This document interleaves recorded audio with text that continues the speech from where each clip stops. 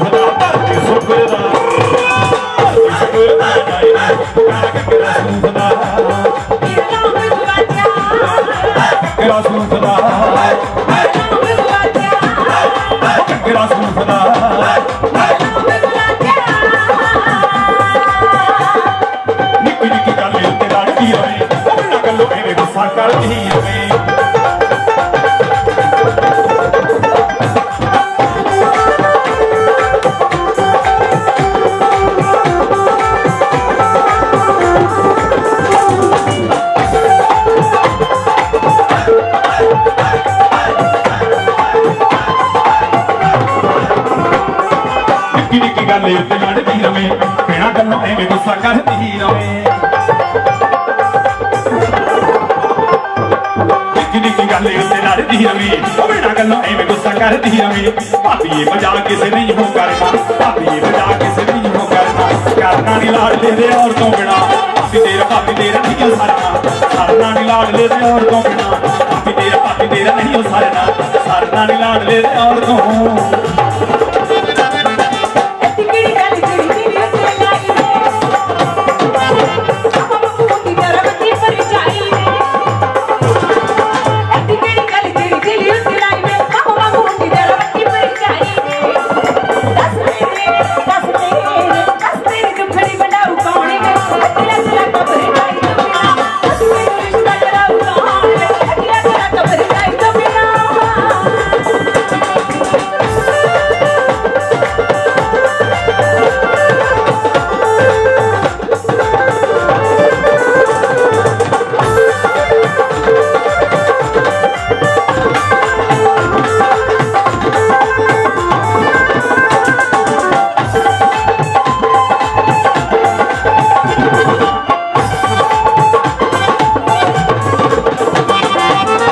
ਮੋਟਾ ਹੋਵੇ ਜਦੋਂ ਤੇਰੇ ਨਾਲ ਲੜਦਾ।